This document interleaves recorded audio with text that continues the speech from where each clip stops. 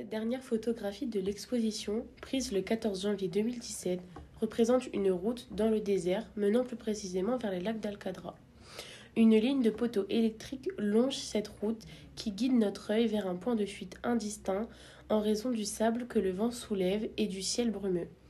Un panneau sur la droite nous indique en arabe et en anglais le chemin pour aller vers une oasis, donc un point d'eau au milieu du désert.